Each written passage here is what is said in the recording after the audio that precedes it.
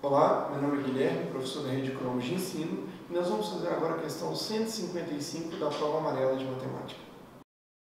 Caríssimos, a questão 155 fala para gente que, de acordo com o número de funcionários de uma empresa, ela deve obrigatoriamente, por lei, contratar pessoas com deficiência ou reabilitados.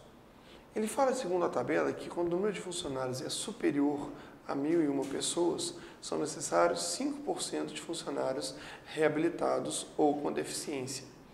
Bom, nesse caso, para que os 1.200 funcionários da empresa correspondam a 95% de seus funcionários, então os 5% corresponde a X. Nesse caso, nós temos 63 funcionários nessa empresa.